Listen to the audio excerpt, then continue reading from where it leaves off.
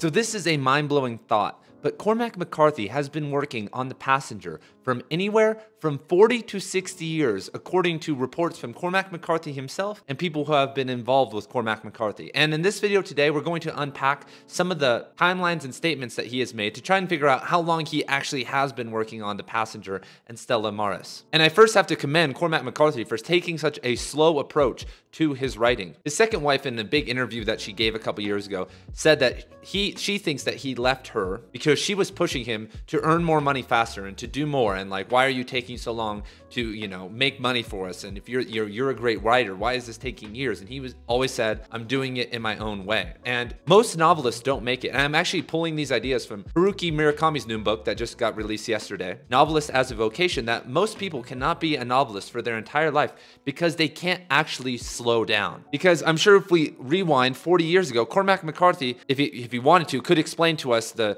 the plot of the passenger in 10 minutes but writing a beautiful novel like he just released and actualizing it into a physical book may take decades or years to do. And that's why a lot of people can't become novelists because it's not a very instant gratification, especially if you're trying to be a master at it. And that's why at some level, anyone can be a novelist if you spend decades doing it because most people drop out really early in really early in their careers. So it takes people like Cormac, who seems like has had multiple divorces and lived in poverty and lived a hard lifestyle to spend, you know, a decade at a time or decades working on a novel to push the literary scene in a better direction. So our first piece of information we are going to explore is from a 2009 interview with the Wall Street Journal that McCarthy gave. And he says, quote, on talking about his new book, The Passenger and Stella Maris, this is a large, the long book is largely about a young woman. There are interesting scenes that cut in throughout the book, all dealing with the past. She's committed suicide about seven years before. I was planning on writing about a woman for 50 years.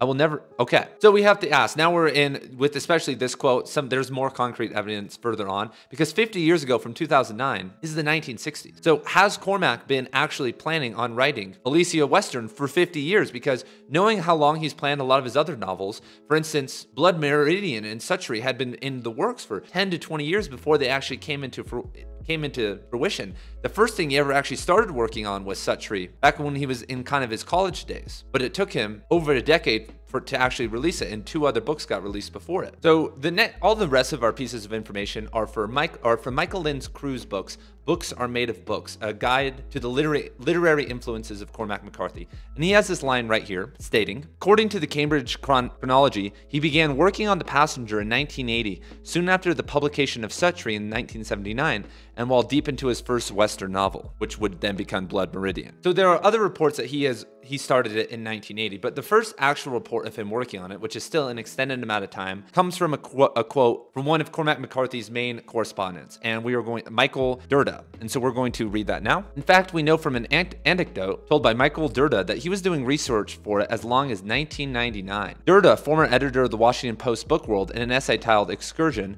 from his collected collection readings, tells of meeting Joseph DeSalvo, owner of the Faulkner House Bookshop in New Orleans, in 1999.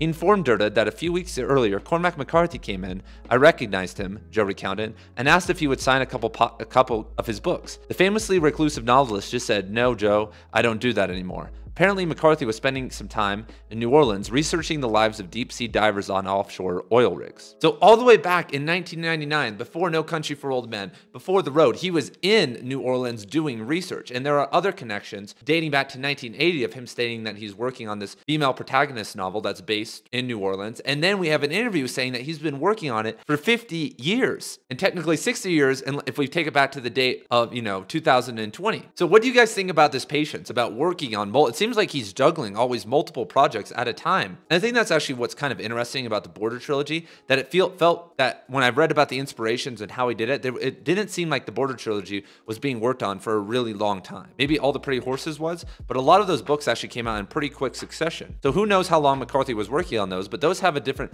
type of magic to them that, that don't feel as refined. And if you guys want to see Cormac McCarthy's only statement about writing The Passenger, I have a video on that right over here, and I will see you guys over there in a second. Peace.